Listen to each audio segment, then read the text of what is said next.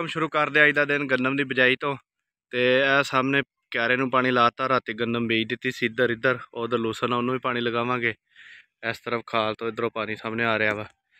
ਤੇ ਪਾਣੀ ਲਾਉਣ ਤੋਂ ਬਾਅਦ ਫਿਰ ਅਗਲਾ ਕੰਮ ਦੇਖਦੇ ਪਾਣੀ ਤੋਂ ਵਿਹਲੇ ਹੋ ਗਏ ਆ ਤੇ ਹੁਣ ਚੱਲਦਾ ਪਿਆ ਡੇਰੇ। ਇੱਥੇ ਉਸੇ ਪਹਿਲੇ ਵਾਲੇ ਰਸਤੇ ਤੋਂ ਇਸ ਤਰਫ।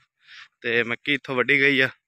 ਤੇ ਹੁਣ ਚੱਲਦੇ ਆ ਡੇਰੇ ਤੇ ਜਾ ਕੇ ਦੇਖਦੇ ਆ ਬਾਕੀ ਕੰਮ। ਵਿੱਚ ਆ ਗਏ ਇੱਥੇ ਬੀਜਿਆ ਸੀ ਰਾਇਆ। ਸਰੋਂ ਵੀ ਰਾਇਆ ਵੀ ਮਿਕਸ ਤੇ ਨਿਕਲ ਆਇਆ ਵਾ ਤਕਰੀਬਨ ਹੁਣ ਪਾਣੀ ਇਹਨੂੰ ਲਾਵਾਂਗੇ 5-7 ਦਿਨ ਤੱਕ। ਤੇ ਬਾਗ ਸੇਲ ਕੀਤਾ ਹੋਇਆ ਵਾ, ਹਲੇ ਕਿੰਨੂ ਕੱਚਾ ਵਾ। ਤੇ ਇਸ ਤਰਫ ਮੁਕੰਮਲ ਸਾਰਾ ਜਿਹੜਾ ਵਾ ਨਾ ਇੱਕ ਇੱਕ ਡਰਾਇਆ ਬੀਜਿਆ ਹੋਇਆ ਵਾ। ਤੇ ਇਹਨੂੰ ਪਾਣੀ ਛਾਣੀ ਵੀ ਲਾਣਾ ਸੀ ਹਫ਼ਤੇ ਤੱਕ। ਮੈਂ ਕਿਹਾ ਡੇਰੇ ਜਾਣੇ ਜਾ ਕੇ ਨਾਲੇ ਫਸਲ ਦੇਖਦੇ ਆ, ਨਾਲੇ ਪਾਣੀ ਦੀ ਕੋਈ ਸੂਰਤ ਹਾਲ ਦੇਖ। ਉੱਥੋਂ ਆ ਗਏ ਆ ਇੱਥੇ ਮਸਾਏ ਦੇ ਰਕਬੇ ਤੇ ਤੇ ਇਹ ਸਾਹਮਣੇ ਵੱਟਾ ਪਾਉਣ ਦੇ ਇਹਨੇ ਕਣਕ ਬੀਜੀ ਆ, ਹੁਣ ਪਾਣੀ ਲਗਾਉਣਗੇ।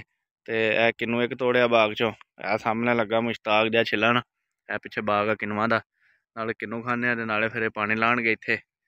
ਤਕਰੀਬਨ ਕੋਈ 2-3 ਘੰਟੇ ਲੱਗ ਜਾਣੇ ਪਾਣੀ ਤੇ। ਫਿਰ ਦੇਖਦੇ ਆ ਬਾਕੀ ਹਿਸਾਬ ਕਿਤਾਬ। ਡੇਰੋਂ ਵਾਪਸੀ ਆ ਗਏ ਆ ਇੱਥੇ ਆਪਣੇ ਰਕਬੇ ਤੇ ਘਰ ਦੇ ਲਾਗੇ। ਤੇ ਉਹ ਸਾਹਮਣੇ ਬਾਜਰਾ ਵੱਢਣ ਦਿਆ ਭਾਈ। ਉਹ ਸਾਹਮਣੇ ਲੱਗਾ ਉਸ ਤਰਫ। ਬਾਜਰਾ ਇੱਥੋਂ ਵਢਾ ਰਹੇ ਇੱਥੇ ਫਿਰ ਕਣਕ ਬੀਜਾਂਗੇ। ਰੂਟਰ ਮਾਰ ਕੇ ਨਾ। ਉਧਰ ਉਸ ਸਾਈਡ ਤੇ ਬੀਜ ਦਿੱਤੀ ਸੀ ਇਸ ਸਾਈਡ ਤਕਰੀਬਨ 1-2 ਦਿਨ ਤੋਂ ਬਾਅਦ ਬੀਜਾਂਗੇ ਤੇ ਹੁਣ ਉਹਨੂੰ ਮੈਂ ਕਹਿ ਕੇ ਆਇਆ, ਮੈਂ ਥੋੜੀ ਸਪੀਡ ਵਧਾ, ਪੱਠੇ ਵੱਢ ਜਲਦੀ ਜਲਦੀ ਜਗ੍ਹਾ ਖਾਲੀ ਕਰ। ਇੱਥੇ ਚੱਕ ਵਿੱਚ ਇੱਕ ਦੋਸਤ ਦਾ ਫਾਰਮ ਸੀ ਬੱਕਰੀਆਂ ਦਾ, ਉੱਥੇ ਗਏ ਫਾਰਮ ਸ਼ਰਮ ਦੇਖਿਆ। ਫਾਰਮ ਤੋਂ ਬਾਅਦ ਆ ਗਏ ਲੁਹਾਰ ਦੀ ਦੁਕਾਨ ਤੇ, ਇੱਥੇ ਬੈਠੇ ਰਹੇ, ਗੱਪਸ਼ਪ ਲਈ ਇੱਕ ਦੋ ਚੀਜ਼ਾਂ ਲਈਆਂ ਤੇ